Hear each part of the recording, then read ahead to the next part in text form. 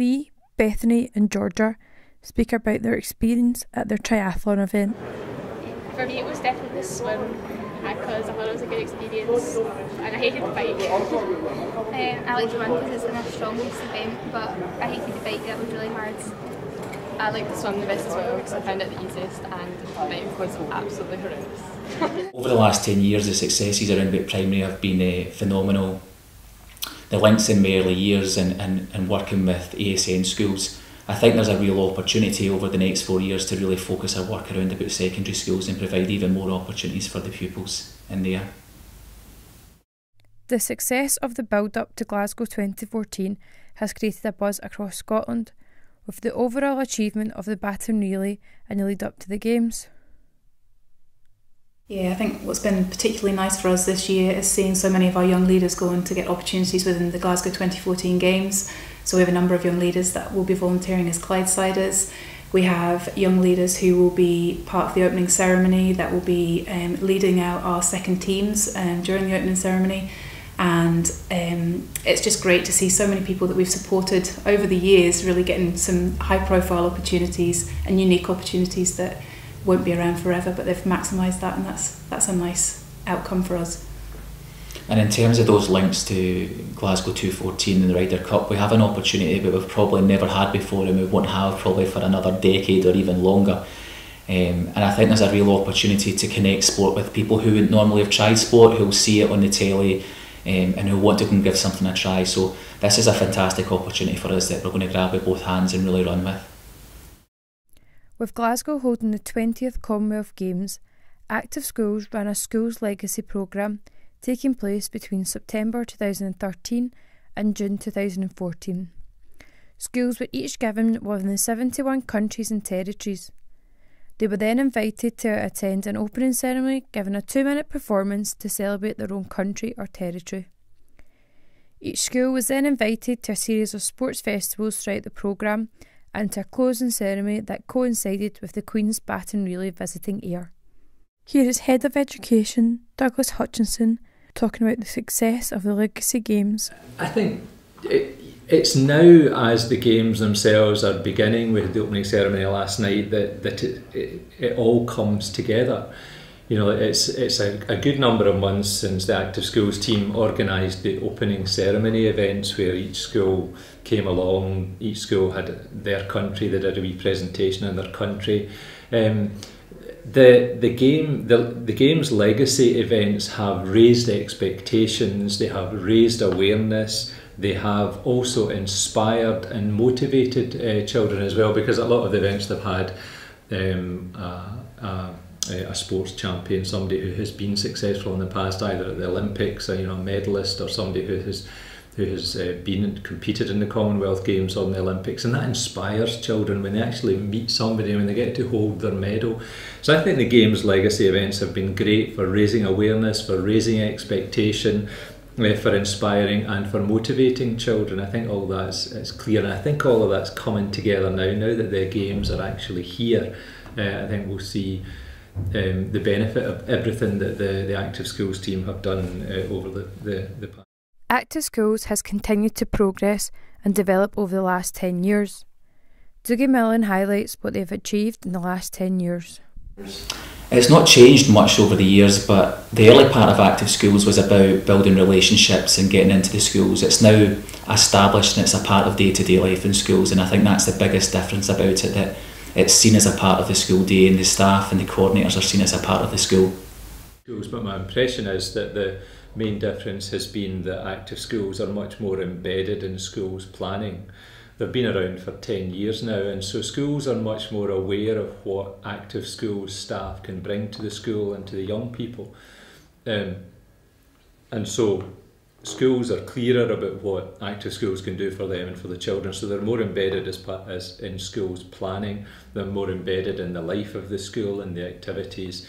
Uh, so I think there's an expectation amongst uh, staff in schools and there's an expectation among children uh, and young people of what the active schools team can bring to them, can offer them, the kinds of experiences they can bring. So they're much more uh, involved because people know what they do, people know that they deliver for them the kinds of really good quality experiences that young people can get.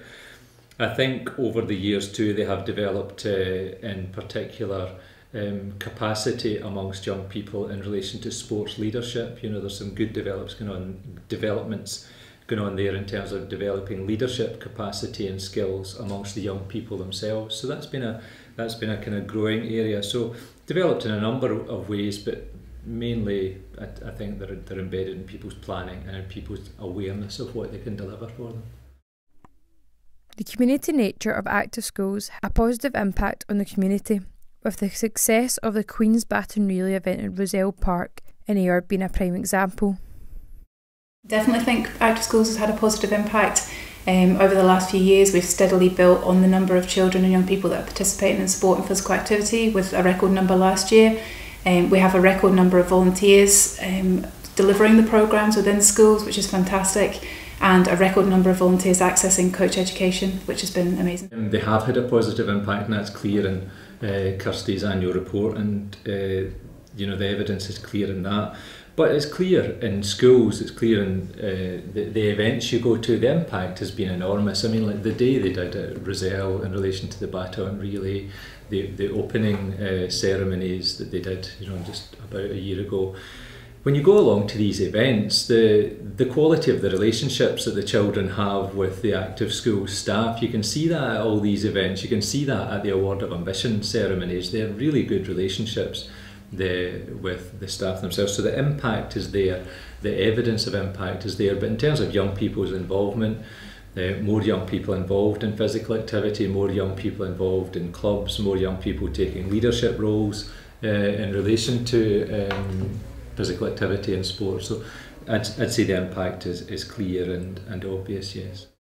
While Active Schools has to provide the service of a healthy and active lifestyle, the coordinators still benefit from it too. Um, it's great to be part of Active Schools. It's something that I've always been really passionate about. Um, really passionate about making sure that children and young people get opportunities to take part in sport. It's something that I've always been involved in.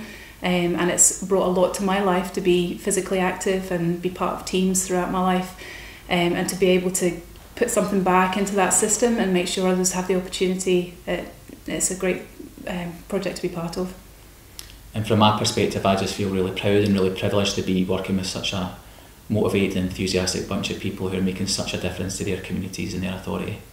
I really enjoy taking part and being part of the active schools team. I enjoy it. Yeah. It's definitely good. You mean like you feel the children know you as someone who comes in to do good fun things with them and the sports and they come in and up asking can we do this after school? Is it the football club on today? Is it when do we get to come back and do this? So it is, it's quite positive going in and seeing the reaction from the children. It's quite rewarding, It's- it's I not- say as well. It's not often you can walk into a school and there's a buzz of excitement, but when Yeah. you, you walk in, the pupils do seem to be quite quite excited that you're there to deliver some sort of sport or you're at least organising sport for their school, so Mm-hmm. Yeah. they're quite they're quite happy to see you. So that part of the job it makes all the organising in the office and all the Mhm. consent forms and answering all the emails. It makes it worthwhile when you go into a school and pupils are actually excited to see you and what you're bringing to the school. I suppose it's quite good as well to see the kids progress. We've, uh, we've been in post since 2008 and so you've seen the kids who are in the kind of upper primary now in secondary taking part maybe in competitive sports as well or who are now volunteering for you as part of the coach academy. So when I started there was a couple of boys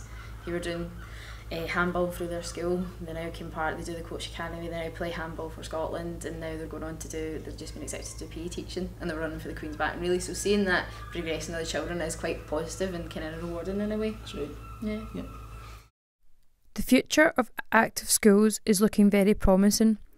With continued support from Sportscotland, there are still certain things that they want to achieve. Uh, Active Schools is a massive part of Sports Scotland's corporate plan as we go forward over the next four years, and particularly when we build a world class sporting system. And we're committed to that, and um, we hope and we're, and we're sure that South Ayrshire will be committed to that. What we want from that is, is active schools to continue to listen to their communities and the people that they work with, and to deliver what those communities and those pupils need. I think for us, um, the next steps for us are to build some really strong pathways into community clubs, uh, make sure that children are getting the opportunity to be active, you know, in the evenings and at weekends, as well as during the school time and after schools clubs, along with active schools. So, um, I think we have some really good examples of how that's worked well in South Ayrshire, but I think there's a lot more that we could do, um, and that's really where we'll be pushing the team to um, develop ideas over the next few years. It's just more of the same. Um, more of what they're doing. I would like to see them continuing to get young people active, to get continuing to get young people involved, enthused, motivated, instead of in the house playing their Xboxes or watching television or whatever, getting them out there because they have been really good, not just in relation to the, the game's legacy events, but in other ways exposing children to different sports that they might not have tried or that they might not try. So I would like to see uh, children and young people um, active schools continuing to get children and young people involved in a variety of sports that they might not otherwise have tried or involved in any sport or any physical activity. So continue to get young people active continue to get young people involved continue to give them the experiences that might lead them on to become much more active much more involved that might lead them to becoming involved in a sports club uh, and so continue that commitment beyond the time they're involved with active schools. So continue to get young people taking part and also developing young people's um, capacity through uh, capacity for leadership through the, the programs that um, the active schools are involved with in developing young people's leadership skills and leadership abilities. So more of the same. I'd like to see active schools produce more an increase in pupils that are going on to future pathways onto mm-hmm. clubs. Um, just now, we, we do have a lot of pupils taking part in lots of different activities. Ideally, we'd love to pass these these pupils onto a club. Just now, it's great that they're all being active. However, if we run a six week block, it tends to come to a bit of an end at the end of the six weeks. I would love if we had a club in every cluster to pass them on to. So just now in Girvan, I had a six week basketball block they all love the basketball. When it comes to an end, we can hold a festival. It would be great to pass them on to, to our next club. And basketball is just one example of this. However, there's lots of different sports and we're all in kind of the same boat a little bit with the clubs. The clubs do great work in the authority. It'd just be great if there was more and also junior sections to all these clubs as well. If, if they were to go into clubs, there's so many talented athletes that it would be great to see them in the next Commonwealth Games, mm -hmm. for example. We just yeah. from the local area and seeing we started this this mm -hmm. journey yeah, off. Yeah, no, definitely. I think it's working with the clubs to kind of create the capacity to take on these children. So some of the clubs are really keen to get all these extra children, but they don't have the capacity. So it's working with them to create that capacity. So through us having volunteers to then go and saying, can you maybe help the club and create another slot for the children to go into.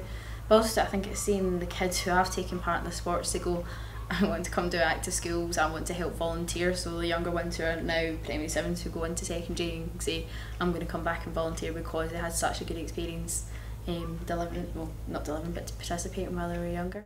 Sportscotland has now extended its funding of active schools for another four years.